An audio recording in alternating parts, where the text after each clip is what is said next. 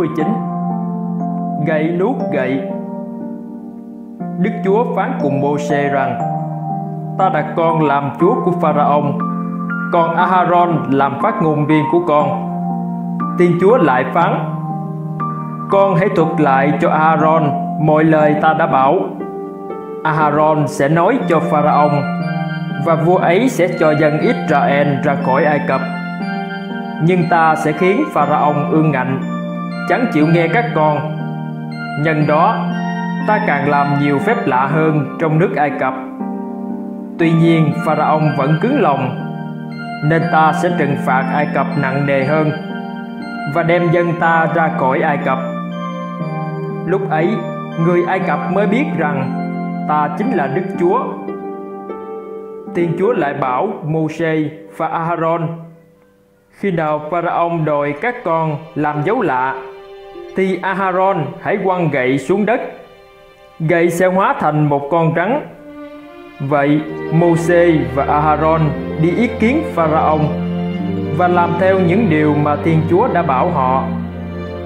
Aharon quăng gậy của mình trước mặt vua và quân thần. Gậy hóa thành một con rắn. Pharaon ra lệnh cho các thuật sĩ, pháp sư dùng phép thuật biến gậy của họ thành rắn nhưng rắn của Aaron nuốt hết rắn của họ. Dẫu vậy lòng của Pharaon vẫn không lay chuyển. Không nghe lời của Môse và Aaron như Thiên Chúa đã báo trước. Khi Môse vào ý kiến Pharaon, ông được 80 tuổi còn Aharon thì được 83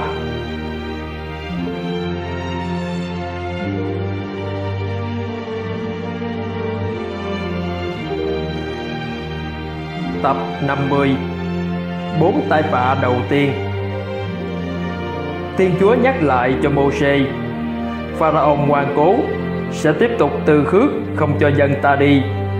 Nhưng sáng mai, con cứ cầm theo gậy ra bờ sông gặp vua và nói, Đức Chúa của người hiếp trì có phán, Vì ngươi đã từ chối không cho dân ta đi, Ta sẽ cho người biết Chính ta là Đức Chúa. Ta sẽ khiến nước sông hóa trà máu Cá sẽ chết hết Nước sẽ hồi thối Và người Ai Cập sẽ kinh tởm khi uống nước ấy Aaron dùng gậy đập xuống sông Nin trước mặt Pharaoh và quần thần. Tất cả các nguồn nước ở sông suối, ao hồ của Ai Cập, kể cả các nước chứa trong vại đất và bình đá đều biến thành máu. Nhưng Pharaoh vẫn rắn lòng, không cho dân của Thiên Chúa ra đi. Một tuần lễ sau, nạn ếch nhái xuất hiện và tràn lan khắp Ai Cập. Từ sông ngòi đến cung điện, thậm chí trong phòng ngủ của vua cũng đầy lúc nhúc ếch nhái chúng bò lên người của mọi công dân ai cập và cả trên mình vua pharaoh liền hứa sẽ tha cho dân của thiên chúa đi nhưng sau khi thoát khỏi nạn ếch nhái vua liền trở lòng không chịu cho dân israel ra đi thiên chúa lại phán với Môsê bảo aharon cầm gậy đập xuống đất khiến bụi đất biến thành mũi mũi hằng hà xa số bu đầy trên người Ai Cập và súc vật. Pharaon vẫn ngoan cố, không nghe lời của Môsê và Aharon. Thiên Chúa lại giáng tài vạ thứ tư. Nạn ruồi nhặn tràn lan khắp Ai Cập. Nhưng vùng Goshen thì không có ruồi, vì là nơi cư trú của dân Israel. Pharaon chấp nhận nhượng bộ, nhưng sau đó lại nuốt lời và không cho dân Israel ra đi như lời Tiên Chúa đã báo trước.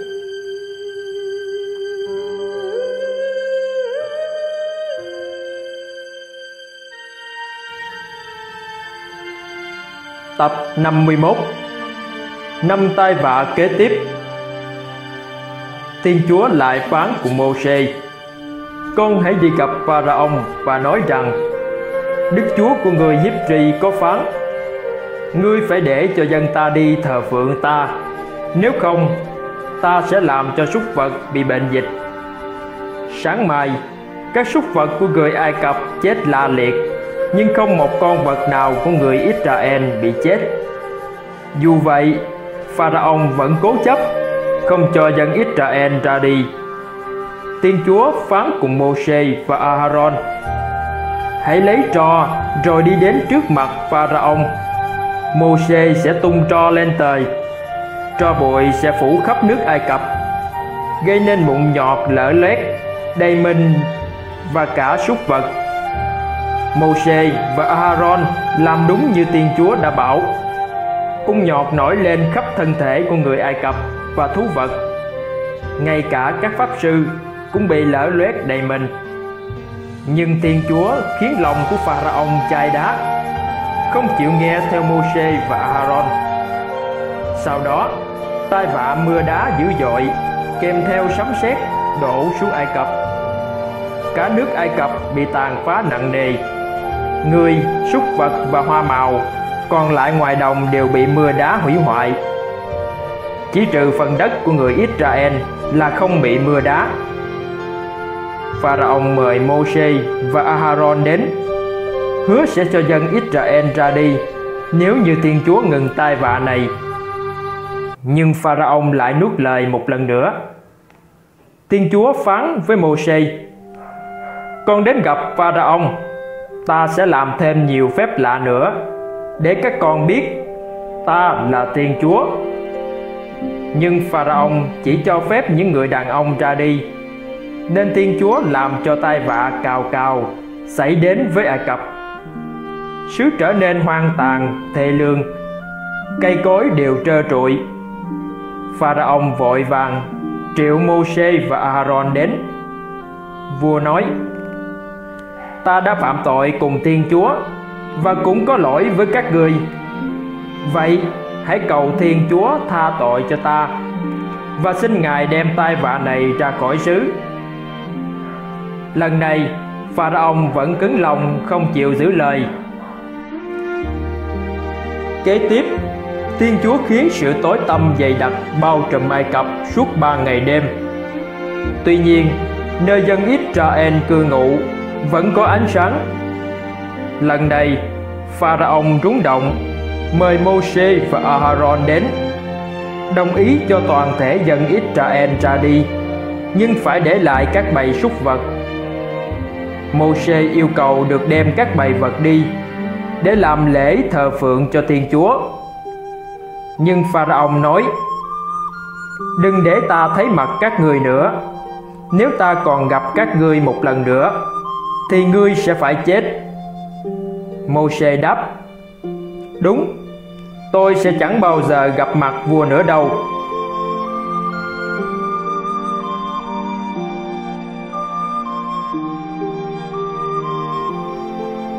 Tập 52 Tai vạ cuối cùng cho Ai Cập Thiên Chúa phán cùng Mô-xê Ta sẽ giáng một tai vạ nữa trên Pharaon và Ai Cập sau đó vua ấy sẽ để cho các con ra đi. Con hãy biểu dân sự xin người Ai Cập những đồ bằng vàng và bạc. Thiên Chúa làm cho người Ai Cập có cảm tình với dân Israel. Mô-sê được mọi người kính trọng từ Pharaon quân thần cho đến dân chúng. Mô-sê nói cùng Pharaon Đây là lời của Thiên Chúa phán: Nửa đêm nay, ta sẽ đi qua khắp Ai Cập. Hết thảy các con trưởng nam của người Ai Cập sẽ chết. Từ thái tử, con Pharaoh cho đến con của người nô lệ hèn hạ nhất, thậm chí con đầu lòng của súc vật cũng phải chết tiếng than khóc sẽ dậy lên khắp Ai Cập từ trước đến giờ chưa từng có và cũng sẽ chẳng bao giờ có nữa. Nhưng dân Israel thì bình an vô sự. Để các ngươi biết rằng Thiên Chúa phân biệt dân Israel với người Ai Cập. Lúc đó, tất cả quần thần của vua sẽ đến sắp mình xuống trước mặt tôi và nói: Xin ông và hết thảy dân Israel hãy ra đi. Đến lúc ấy tôi mới đi. Nói xong Mô-xê đùng đùng bước ra khỏi cung điện trong cơn giận dữ. Nửa đêm hôm ấy Đức Chúa sát hại mọi con đầu lòng của người Ai Cập Từ thái tử cho đến con của tù nhân đang bị giam giữ trong ngục Luôn cả có con vật đầu lòng của súc vật. Pharaoh, quân thần và mọi người Ai Cập chợt thức giấc lúc nửa đêm, rồi có tiếng than khóc vang lên khắp nơi. Chẳng nhà nào trong nước Ai Cập mà không có người chết.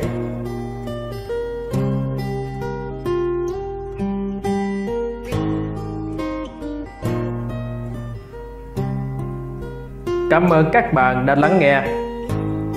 Ở tập tiếp theo, sau khi Tiên Chúa đã giáng 10 tai vạ lên Ai Cập, liệu rằng Pharaoh có để cho dân Israel ra đi? Xin mời các bạn đón xem những tập tiếp theo của tập truyện tích Kinh Thánh và cùng nhau khám phá những câu chuyện huyền bí về Thiên Chúa